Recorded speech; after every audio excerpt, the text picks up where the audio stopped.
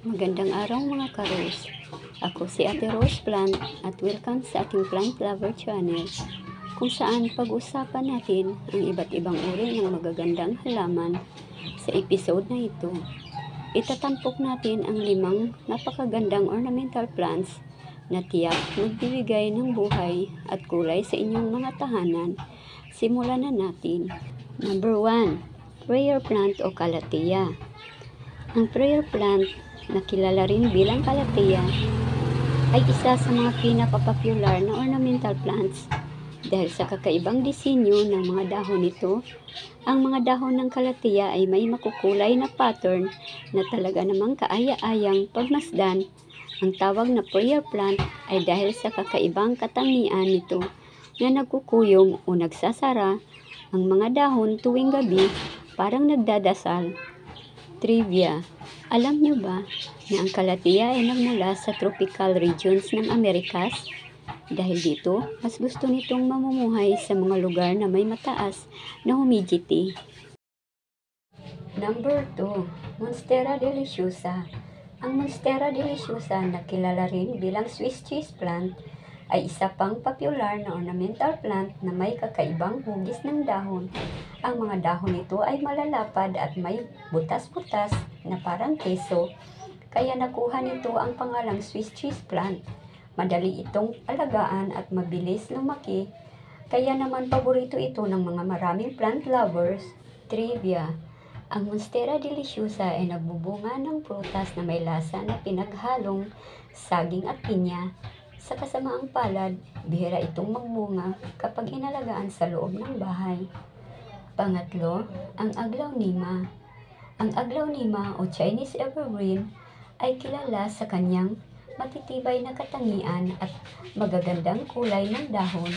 Ang mga dahon nito ay may iba't ibang shades ng green, silver at minsan pa nga ay may pulang pattern Madali itong alagaan at kayang mabuhay kahit sa low light conditions, kaya perfect ito para sa mga beginners. Trivia Ang agronema ay isa sa mga halaman na ayon sa NASA ay may kakayahang mag-filter ng toxin sa hangin, kaya't hindi lang ito maganda, kundi nakakatulong pa sa kalusugan ng ating kapaligiran.